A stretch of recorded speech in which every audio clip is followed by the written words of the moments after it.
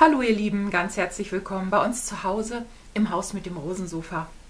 Ich darf euch heute die Camback Tessa von Crearesa zeigen. Ich habe die in Größe L genäht. Ich finde die ganz äh, toll. Das ist ein, äh, eine ungewöhnliche Form, finde ich. Sie hat ein Reißverschlussfach außen und eins innen und verschiedene Einstecktaschen. Ich wünsche euch viel Spaß mit dem Video. Hier seht ihr die vorbereiteten Teile. Ich dachte, ich nehme mal eine Weihnachtstasche. Ähm, das ist alles nach Schnittmuster nach E-Book zugeschnitten und vorbereitet. Und als erstes bügel ich auch nach E-Book die Bügeleinlage hinten auf die jeweiligen Stoffteile. Es geht los mit dem Außenstoff der Teile B. Das sind die langen Streifen und dem längeren Reißverschluss. Der ist großzügig bemessen. Ihr legt den Reißverschluss rechts auf rechts auf einen der Streifen der Reißverschluss soll nachher 1,5 cm breit sein. Mein Reißverschluss ist 3 cm breit. Das heißt, ich nehme mit einer Nahtzugabe von 0,75 cm einmal hier längs.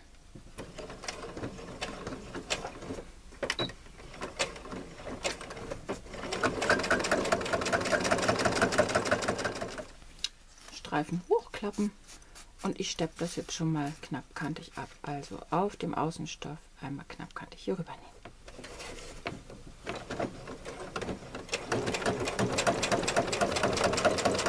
Reißverschluss am zweiten Streifen angenäht, wieder rechts auf rechts zusammenklappen, bündig anlegen, dabei darauf achten, dass hier die Ränder stimmen, die Kanten stimmen und wieder genauso nähen wie eben schon auseinanderklappen und wieder absteppen. Zipper in die Mitte, Enden abschneiden, mit ein paar Stichen über die Zähnchen, die Enden sichern, damit euch der Zipper da nicht aus Versehen runterrutscht. Das Stück sollte 9 cm breit sein, das hat bei mir gut geklappt. Wenn ihr es noch nicht gemacht habt, übertragt ihr jetzt diese Markierung, diese fünf Markierungen auf die Außenseiten jeweils mit einem kleinen Knips, etwa 3 mm lang. Es geht weiter mit dem Seitenteil eurer Tasche und zwar das Teil, was nachher vorne ist, wo der Reißverschluss reinkommt. Da zeichnet ihr auf der Rückseite erstmal das Reißverschlussfach ein. Das habt ihr vorher rausgeschnitten. Schlitz in der Mitte aufschneiden, also die mittlere Linie schneiden und diese eingezeichneten Ecken.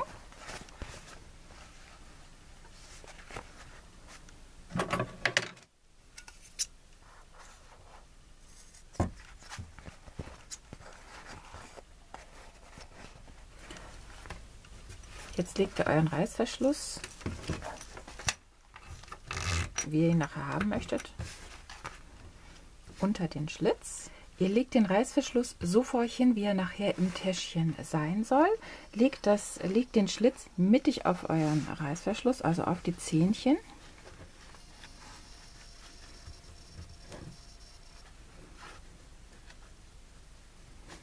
Ich stecke mir da hinten jetzt eine Nadel rein. Unteren Teil stecken. Mal gucken, ob das hier mittig ist. Ja. Jetzt wird der obere Teil umgeklappt. Und so wie es jetzt liegt, am Reißverschluss festgesteckt, geklebt oder geklammert. Und jetzt wird genau auf der eingezeichneten Linie einmal genäht. Ich würde hier verriegeln, hier rüber nähen, hier wieder verriegeln. Wie ihr sehen könnt, habe ich da eben schon mal genäht. Da habe ich den Fehler gemacht, dass ich dieses Stück direkt an den Rand gesetzt habe. Also das darf natürlich nicht so sein. Das kommt auf die Breite des Reißverschlusses an.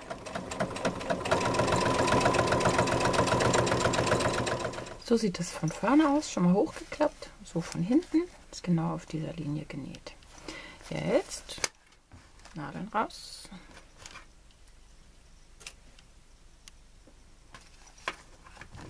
Unteren Stoff nach oben klappen. Wieder stecken, klammern oder kleben und auf der Linie einmal braucht ihr eure Teile F1. Bei einem Teil wird oben 1,5 cm abgeschnitten. Das sind die beiden Teile. Das kürzere, das schmalere könnt ihr erstmal wegpacken. Jetzt braucht ihr wieder euren Taschenteil. Der obere Teil von der Tasche wird wieder nach unten geklappt. Jetzt wird der Stoff dahinter gelegt. Und da ich diesen breiten Reißverschluss habe, ich will den aber auch nicht einkürzen, damit er nachher nicht irgendwie ausrappelt, lege ich den Stoff in Höhe des, ähm, des äh, Taschenstoffes an. Also etwas weiter. Ich lege den, lasse den Reißverschluss etwas drüber lappen.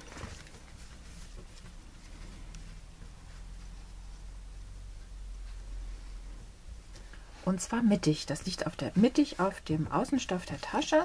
Hier oben guckt mal Reißverschluss ein bisschen raus. Ähm, ich nähe genauso wie hier schon. Reißverschlussfüßchen ist noch drin. Diese Naht einmal ab.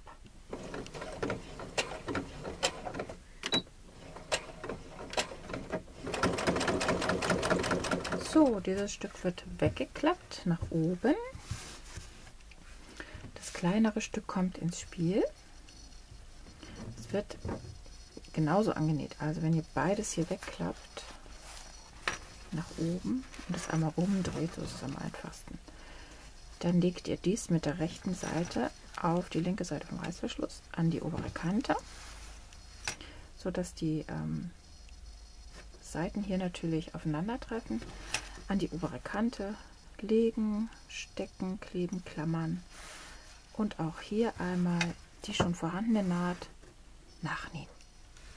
So sieht das aus. Einmal zum Bügeleisen gehen und die Stoffe schön vom Reißverschluss wegbügeln. So sieht das jetzt aus. Das ist vorne, hinten. Ihr klappt alles nach oben weg. Also die, den, den Innenbeutel wird, der wird nach oben weggeklappt. Und jetzt wird ähm, unterhalb des Reißverschlusses einmal abgenäht. Genau von der Ecke, also ein Stich drüber, weil ihr da nachher auch noch hochnäht. Bis hier rüber und da auch genau ein Stich über ähm, den Ausschnitt hinweg nähen. Jetzt werden diese kleinen Dreiecke noch festgenäht. Dazu klappt ihr den Außenstoff und den Taschenstoff auch weg. Klappt das Dreieck nach unten durch.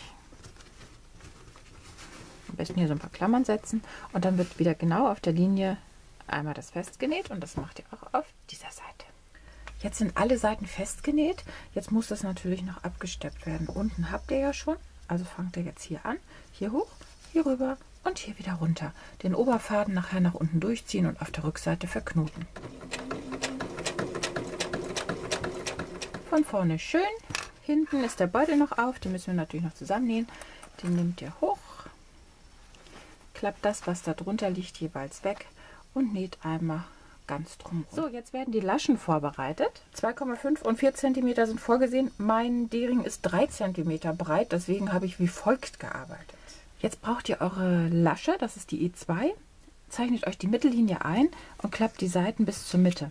Das geht nur so, wenn ihr einen ähm, D-Ring habt, der 4 cm breit ist. Meiner ist tatsächlich 3,5 cm breit und deswegen habe ich das weiter nach innen. Also es klappt, klappt bei mir weiter übereinander. Der D-Ring soll da drüber passen. Das mache ich mit beiden Teilen. Dann wird der aufgefädelt und innerhalb der Nahtzugabe hier am Ende bei 0,5 cm schon einmal zusammengenäht. Wenn ihr mögt, könnt ihr, bevor ihr das zusammenlegt und näht, ähm, die Seiten einmal absteppen.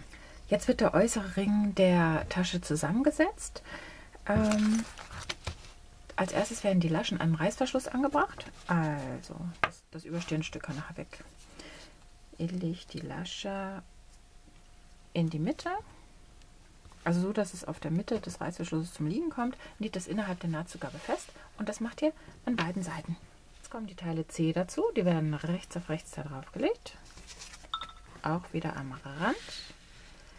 Und ich habe mir hier die Nahtzugabe von 1 cm eingezeichnet und genau da nähe ich jetzt auch runter. Jeweils rechts und links. Das ist eben schon mal genäht, aber hier dieser Abstand zu der Schnalle ist nicht so weit. Und da kommt dieser Höhenunterschied noch dazu. Also ist tatsächlich ähm, wahrscheinlich nicht ganz so einfach zu nähen. Ähm, und ich bin mit dem normalen Nähfuß hier hängen geblieben. Und jetzt habe ich den Reißverschluss äh, nochmal eingebaut und ich hoffe, dass das mit dem besser funktioniert.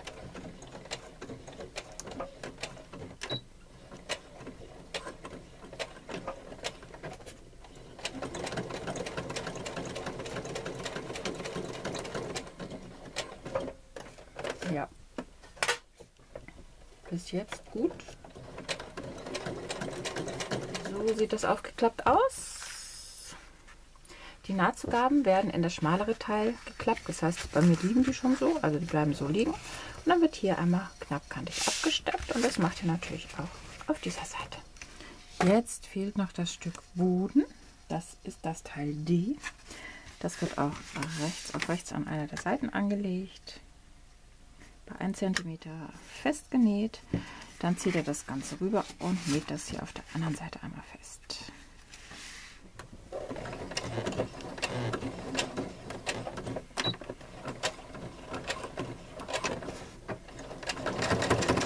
Die Nahtzugabe wird hier wieder Richtung Boden gelegt, also wieder Richtung Außen und abgestimmt.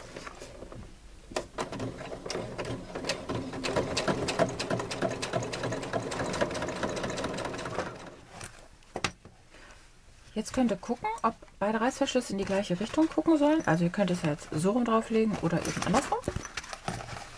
Ich mache es so rum. Und jetzt wird es rundherum einmal festgesteckt oder geklammert. Die Markierungen treffen dabei natürlich aufeinander. Also ihr habt hier oben ja einmal die Mitte, dann habt ihr hier eine Markierung und hier. Und das sind die Markierungen die wir ja auch auf dem Streifen gesetzt haben. Und dann kann man das, äh, fange ich jetzt also hier oben an, stecke das hier zusammen und dann rundherum weiter fest. Das passt haargenau, also wirklich millimetergenau drumrum. Und genauso wird jetzt auch genäht. Ihr nehmt euer Reißverschlussfüßchen, ähm, die Nadelstellung nach ganz links und dann kann man da wunderbar einmal ganz drumrum nähen.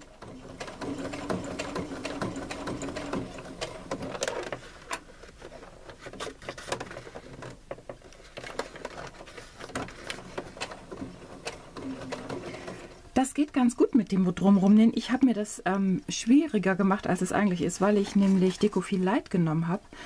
Ähm, statt einer ähm, Flieseline S320. Das habe ich jetzt aber erst gemerkt. Ähm, der Korkstoff an sich ist sehr, sehr dünn, also der lässt sich sonst wunderbar vernähen. Wie gesagt, ich habe die falsche Verstärkung genommen, aber dafür steht meine Tasche nachher umso besser. Das zweite Stück wird genauso angenäht. Ähm, ihr müsst natürlich den Reißverschluss öffnen, bevor ihr näht, weil ihr sie sonst ja nachher nicht mehr gewendet bekommt. Also wieder festklammern und dann einmal ganz drumherum nähen. So, das ist ganz gut zu nähen. Ich habe ähm, den Seitenstoff auf den Tisch gelegt und ähm, den Seitenstreifen runtergedrückt. Man kann, ich hatte es vorher in der Hand, habe es andersrum gemacht, aber natürlich soll der Stoff gerade liegen und deswegen macht es mehr Sinn, ähm, da drauf zu arbeiten. Damit die Form nach dem Wenden nachher gut ist, liegt die Nahtzugabe am besten Richtung Ring, also so rum. Und damit die da auch nachher zum Liegen kommt, nähen wir die Nahtzugaben fest, wo sie aufeinandertreffen. Also hier ist das ja einmal so, nach innen klappen, hier mit ein paar Stichen festnähen mit der Hand. Hier ist das so, überall da, wo ihr so eine Quernaht auch habt, könnt ihr den Ring nach innen klappen und die mit ein und den mit ein paar Stichen hier befestigen. So sieht das jetzt bei mir aus. Das fühlt sich fast ein bisschen wie so ein kleiner Koffer an, dadurch, dass ich eben diese dickere, ähm, das dickere Vlies genommen habe. Ähm, hier oben, das dürft ihr auf keinen Fall befestigen. Das muss so bleiben, das brauchen wir noch. Alles andere, ja, an den jeweiligen Quernähten habe ich genäht. Den Rest habe ich ein bisschen geklebt, sei mir verziehen. Und das äh, ist das fertige Außenteil. Das könnt ihr, wenn ihr möchtet, schon mal umdrehen. Müsst es dann aber nachher zurückdrehen. Ich lasse es jetzt so, weil ich Kork nicht so furchtbar gerne öfter drehe. Und stelle das erstmal beiseite. Es geht weiter mit dem Futter. Außenteil, also die Seite, das Steckfach K wird einfach aufgelegt. Innerhalb der Nahtzugabe bei 0,5 cm festgenäht. Und wenn ihr dann senkrechte Nähte noch setzt, könnt ihr euch das Fach nach euren Vorstellungen unterteilen.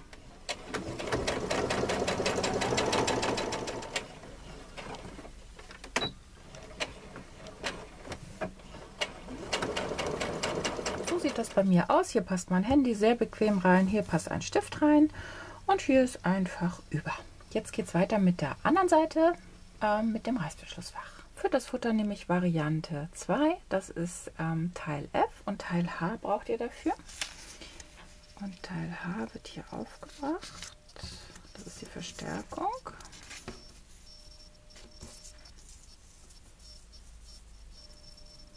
Und da festgebügelt, wie es auf dem Schnittmuster eingezeichnet ist.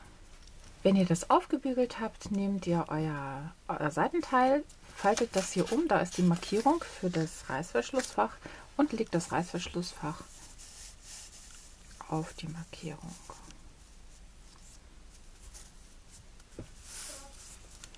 Dann könnt ihr das ähm, Papier wegziehen. Jetzt wird einmal um den Außenkasten drumherum genäht. Das Innere ist wieder die Schnittfläche ähm, direkt auf den Linien nähen, am besten nicht übernähen und wenn ihr mögt, könnt ihr die Stichlänge runterstellen auf 1,0, dann habt ihr sehr feine Stiche. Schnittschlitz öffnen. Dabei bis kurz vor die Ecke schneiden. Die Naht darf nicht verletzt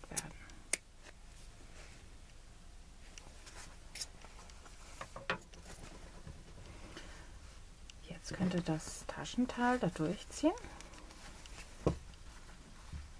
Die Rückseite. Und so hinlegen, dass die Naht wirklich in der Mitte ist. Das ist jetzt bei meinen Stoffen nicht ganz so wichtig, aber wenn ihr verschiedenfarbige Stoffe habt, dann fällt das schon auf. Ich gehe zum Bügeleisen und bügel mir das einmal schön hin. So sieht das bei mir aus. Ihr legt euren Reißverschluss dahinter.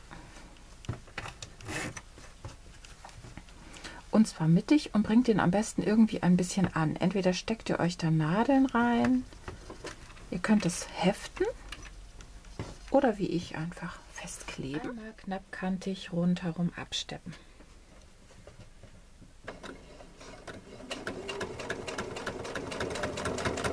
So sieht das von außen aus und so von hinten, von innen. Darauf kommt das zweite Teil F. Rundherum ein bisschen feststecken und dann mit 0,75 cm Nahtzugabe ganz rundherum nähen. Dabei natürlich immer das, was drunter liegt, wegklappen. Das dürft ihr nicht mit einfassen. Damit ist das Teil dann auch erstmal fertig. Könnt ihr zur Seite legen. Jetzt wird wieder der Ring zusammengesetzt. Es geht los, indem ihr diese Reißverschlussstreifen an der Seite, die zum Reißverschluss zeigt, 1 cm nach innen umfaltet. Also der Streifen liegt mit der rechten Seite nach unten. Diese Teile auch. Und jetzt wird das wieder zusammengesetzt, indem ihr das rechts auf rechts aufeinander legt. Das heißt, ich würde die hochnehmen, drehe das um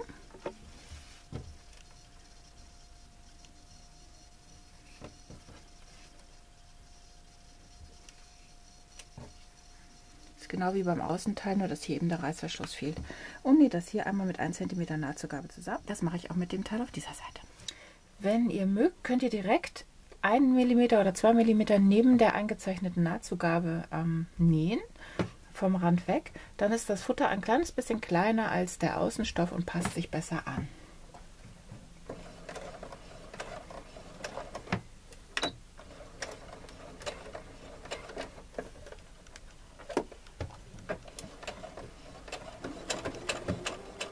Das ist meine rechte Seite. So sieht das von unten aus. Ich habe die Nahtzugaben wieder in das Seitenteil gebügelt. Jetzt kommt hier unten wieder das Bodenteil dran. Rechts auf rechts zusammenlegen.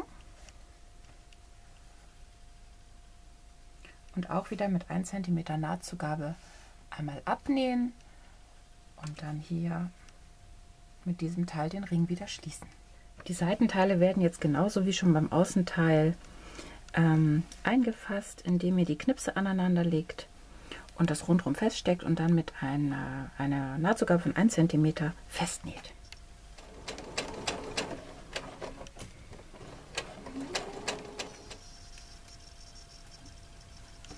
Das ist mit diesem Stoff etwas einfacher, weil der einfach viel dünner ist. Ähm, Nahtzugaben zurückschneiden auf etwa einen halben Zentimeter. Die Außentasche ist noch auf links gedreht. Das Futter dreht ihr auf rechts. Und jetzt steckt ihr die Außentasche in die Innentasche. Jetzt wird vom Futter die obere Kante nach unten weggeklappt. Dann kommt hier die Nahtzugabe zum Vorschein. Und diese Nahtzugabe trifft auf die Nahtzugabe von der Außentasche. Steckt euch das ein bisschen fest. So sieht das bei mir aus. Habe ich mir schwieriger vorgestellt. Und jetzt wird also von Markierung 3 bis zur Markierung 3. Und jetzt wird auf der, äh, beziehungsweise knapp neben der schon bestehenden Naht genäht. Also äh, direkt daneben Richtung Außenkante einmal von Markierung 3 bis zur Markierung 3 ähm, nähen. Am besten mit einem Reißverschlussfüßchen.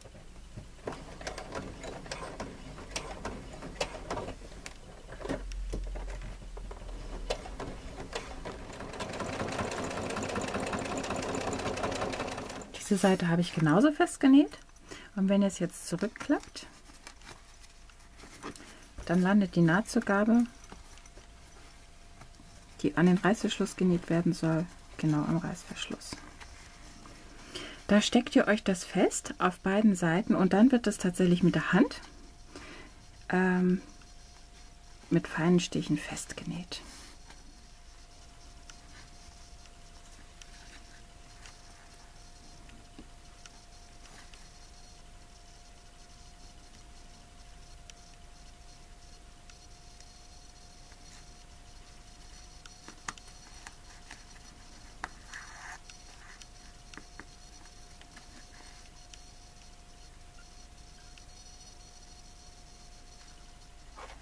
So sieht das jetzt aus. Wenn ich erstmal angefangen habe, mag ich solche Arbeiten ganz gerne. Jetzt könnt ihr das Täschchen wenden und euch schon mal freuen über dieses süße Täschchen. Also ich finde die echt total niedlich. Ich finde die Form grandios. Ich mag meinen Stoff. Und ja, jetzt fehlt noch das Gurtband.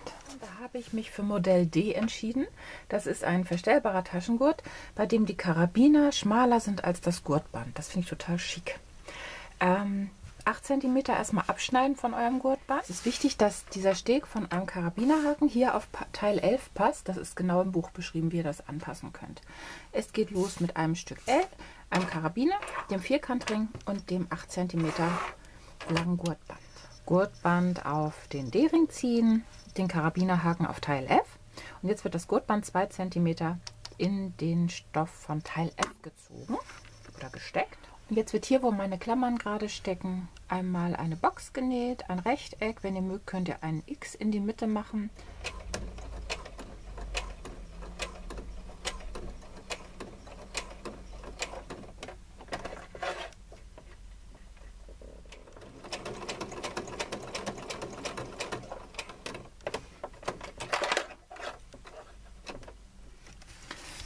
Das lange Gurtband durch den D-Ring führen, auf der Rückseite umfalten.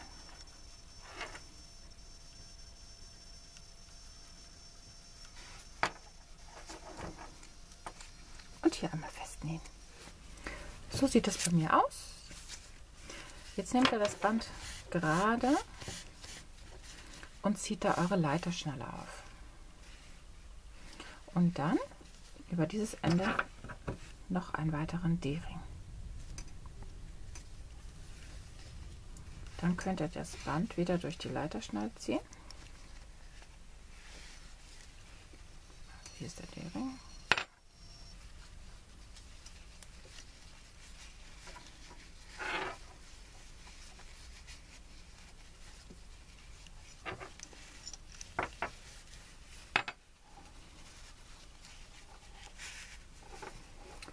und hier wieder umfalten.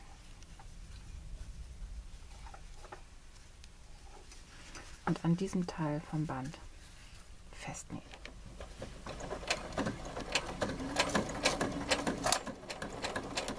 Dieses Ende nähe ich jetzt genauso wie dieses Ende. Ich habe nochmal 8 cm Gurtband genommen, habe mein Teil L genommen, fädel das hier rein, nehme meine X-Box, ähm, wobei natürlich ich vorher mit dem Stück durch den D-Ring wieder muss.